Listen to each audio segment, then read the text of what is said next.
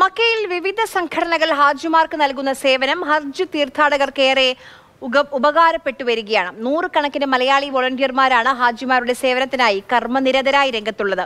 ചുട്ടുപൊള്ളുന്ന ചൂടിനെ വകവയ്ക്കാതെയാണ് വോളണ്ടിയർമാർ സേവന രംഗത്തുള്ളത്. നാൽപ്പത്തഞ്ച് ഡിഗ്രിയോളമാണ് മക്കയിലെ ചൂട്.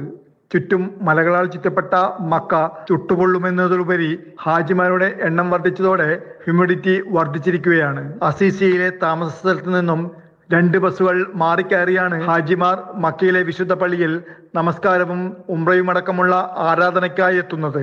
വെള്ളിയാഴ്ച ദിവസങ്ങളിൽ പ്രത്യേക സമയത്ത് ഹാജിമാർ ജുമ നമസ്കാരത്തിനെത്തുമ്പോൾ തിരക്ക് കൂടുകയും ചൂട് വർദ്ധിക്കുകയും പതിവാണ്.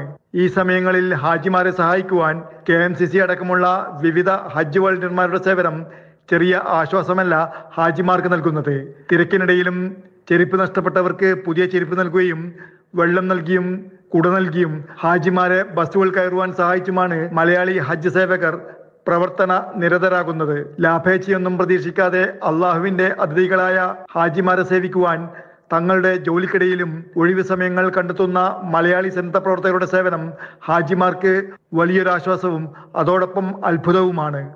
Jafar Ali Palakkode Mathrubhumi news Mecca.